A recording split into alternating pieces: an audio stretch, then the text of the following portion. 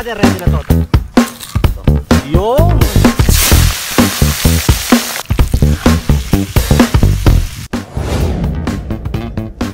Isang napakagandang araw mga kabrother. Yeah, isang magandang araw mga ka-brother. Sarap ng panahon ngayon mga Oh, kabrother. tsaka ang ganda ng panahon, brother, oh. Dahil malamig ngayon, parang ang sarap magbabad sa ano? Ang sarap magbabad sa init. Parang ang sarap mag-sunbathing, no? Oo, kasi sobrang lamig mga kabrother eh. Pero dahil dyan, dahil malamig, magluluto tayo ng pork belly. Pero ang gagawin natin dito mga kabrother, gagawa tayong melt in your mouth pork adobo. Yan. So bago natin simulan to mga kabrother, linisin muna natin yung pork belly natin.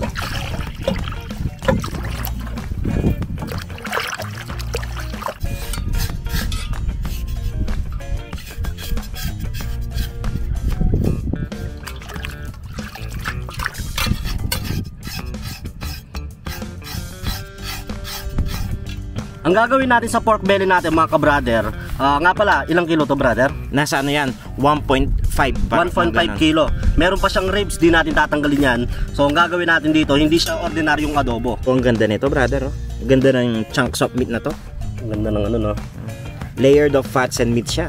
Ang normal na adobo na ginagawa natin mga kabrother, usually, hinihiwa natin siya, di ba? Oh, tsaka bite size. Bite size. Pero eto, kakaiba to brother. Kasi hindi natin siya hiwa-hiwain ng ano, yung Maliliit. hiwa-hiwalay, kumbaga.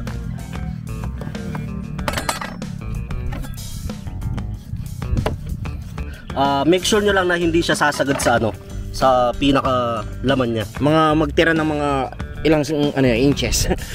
mga half inches ganun ka, brother. Oo, baka kasi ma- matanggal din eh. Mm-mm. Yan, tapos square-square lang natin to. Yun.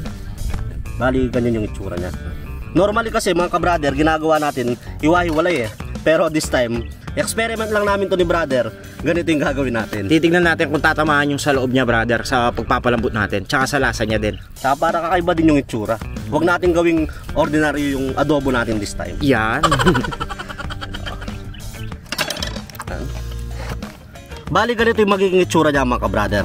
So, ganyan lang siya. Tara brother, isasalang na natin to. Yan.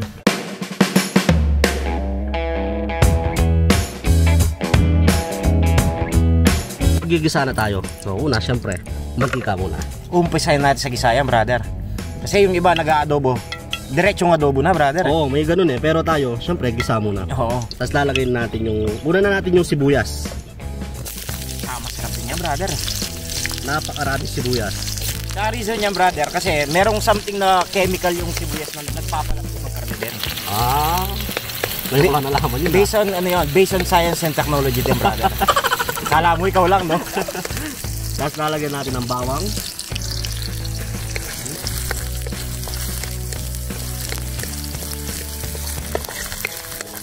Ito okay na to mga ka-brother. Ilalagay na natin yung buong ano natin, liempo. Paano ba? Una sa taas, baba. Taas na, brother. Para masusta, no? Oo. Ah, magdikit eh. Didikit talaga yan, brother, syempre. Saka, ano, parang hinahanap natin dyan, brother, yung magtusta siya. Ito lang ang mahirap dito mga ka-brother. Hindi mo magigisa yung buong karne. Oo. Oo. Ganyan lang yan. Tapos ano yun na lang natin, no? Balibalik ka rin na lang natin. Balik-balik ta rin na lang natin. Ano brother, tama ba yung ginagawa natin? Sige, pwede yan, brother. Tapos dito naman.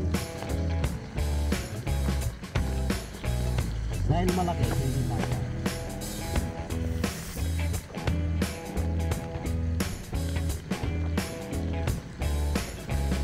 Maglalagay na rin tayo ng paminta, pamintang durog. Yun.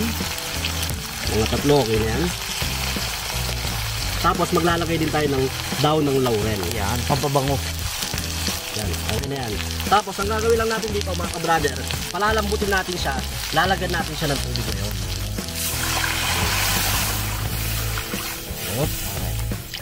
Okay. Na yan. Hayaan muna natin siya makumulo mga ka-brother ng nasa 15 minutes tapos mamaya maglalagay na tayo ng um, toyo at saka yung Suka. suka. Yun. So pakuluan muna natin to mga ka-brother.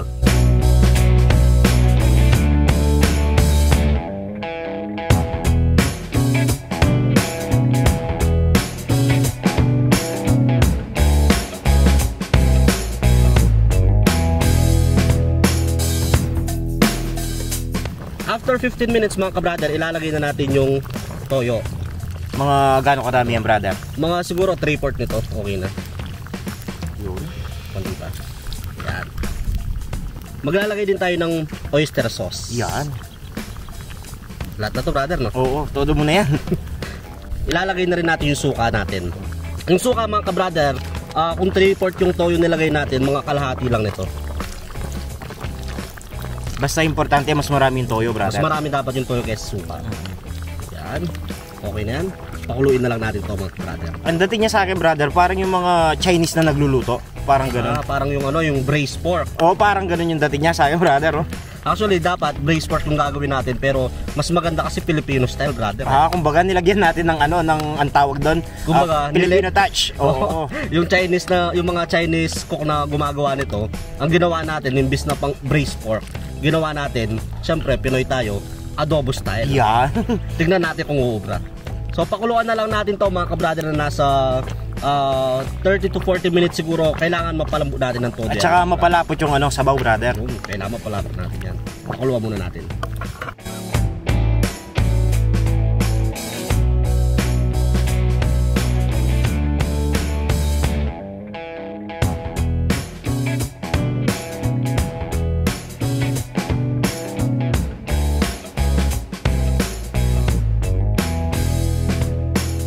Nasa 30 minutes to mga kabrader, maglalagay tayo ng konting asukal. Yan. Para medyo Pambalance lang? Oo. Tapos ilalagay natin yung sili natin. Yung Ayan. napakamahal nating sili. nasa ano to, nasa ah, 20 pesos. Anim na piraso. Hindi, nasa pito yan. Ah, pito ba yan, brother? Sobrang mahal na sili. So gagawin lang natin dito mga kabrader, medyo malambot na siya. Ang gagawin na lang natin dito, medyo patutuyuin na lang natin. All goods na. Yan. Tsaka sobrang bango. Nga po yun na to ah. Ang lakas.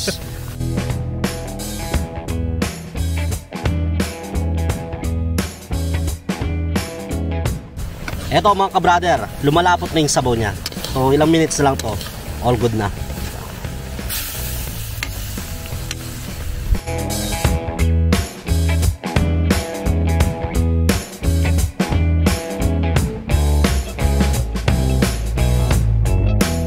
Na mga kabrader, ready na yung ginawa nating melt in your mouth ano ba yan? adobo. Adobo braised pork, parang ganun. Pakita natin kung gaano ano, nanginginig na yung laman nyo. Pero bago tayo mag-start, brother, pray muna tayo. Sige. Ah, thank you, Lord, sa napakasarap na pagkain na to, Lord. Bless this food, Lord. In Jesus' name we pray. Amen, amen. Thank you. Amen, Lord. So, ito na. Kuha ka na, na brother. brother. Ako, wala ako dito, ha. Uy, naku. You know? Mainit-init pa, mga ka-brother.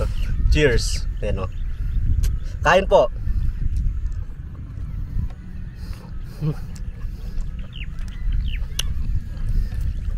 Grabe. Alam mo yung Kahit dila lang yung gamitin mo. kahit hindi mo siya ka, kaagatin mo siya tapos yung dila pag press mo lang okay na brother Yung lasa niya mga ka-brother, typical na adobo talaga, walang nagbago. Pero ang nakakamiss sa kanya, buo siya, mm nakaka-enjoy kainin. Grabe. yung pagka adobo niya yun napatuyo natin siya brother ang sarap Sarap. Grabe. Ayan no. babaklas ka na lang eh babaklas Cheers. cheers cheers Ang sarap niya sa ano, sili kanin lamig.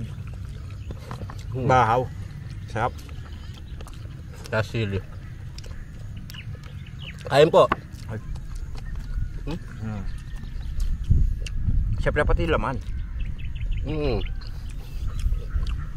pati yung laman brother malambot siya sarap Ayan o, yung may laman, palambot na balat. Hmm. Sobrang sarap. yung sarso niya brother panalo sa bahaw Mm. Sabay mo na sili. mm panalo Sabay mo na ng maraming na coke.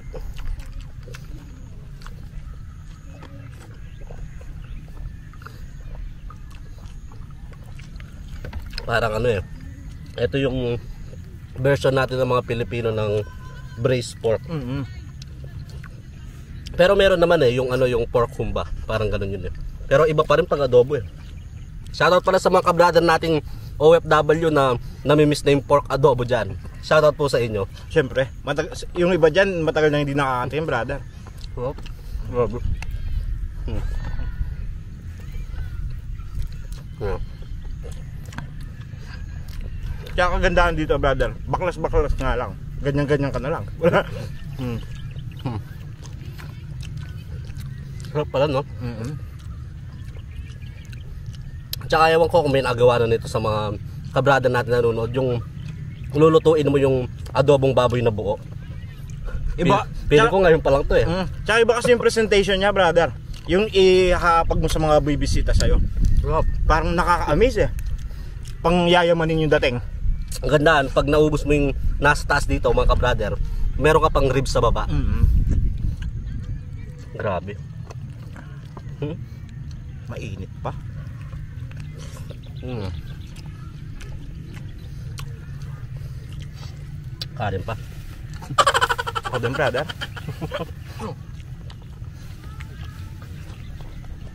Sarap. Sa mga bagong kabrader pala natin, um, welcome po sa Kalina Brothers kung na-appreciate nyo po yung video to. Huwag nyo pong kalimutan mag-subscribe. Yun. At saka, yung pong notification bell, wag nyo na rin kalimutan. Mm-hmm. Kaka-enjoy.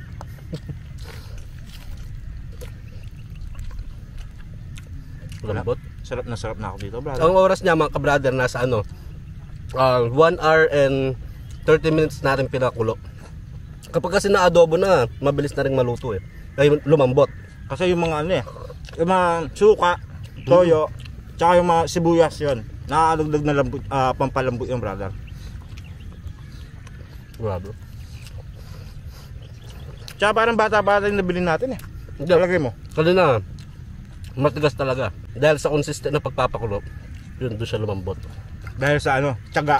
Nadaan sa tiyaga, brother. So, pag may tiyaga, may adobo.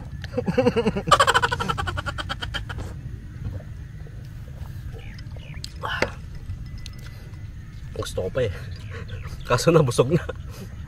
Grabe. Sarap niya sa kanin mga kabrader.